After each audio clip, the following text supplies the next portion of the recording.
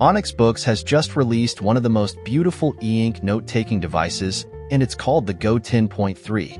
It might even tempt die-hard Remarkable 2 or Supernote users due to its aesthetically pleasing look and clear display. You see, this one has 300 ppi, and not only that, but it also doesn't have a front light, which might be a turnoff for some, but it also means that there is no extra layer on top of the display, making the screen brighter and clearer. Another impressive thing is its size. It is only 4.5 millimeters thin and weighs 365 grams. In comparison, the Remarkable 2 is 4.7 millimeters thin and weighs 403 grams. It's impressive that Boox was able to do this with the battery being 3,700 milliamperes, which is the same as that of the Note Air 3. It has 4 gigabytes of RAM, 64 gigabytes of internal storage, and runs on Android 12.